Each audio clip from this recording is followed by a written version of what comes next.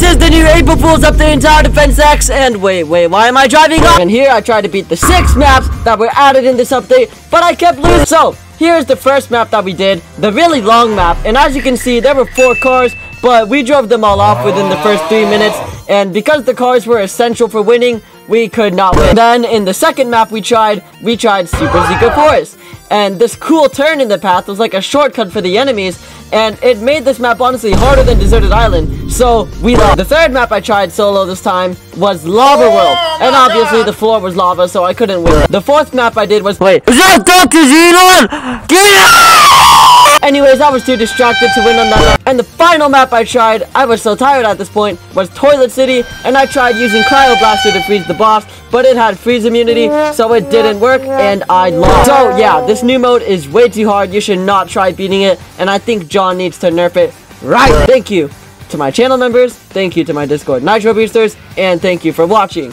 Peace out, have a good day, don't forget to...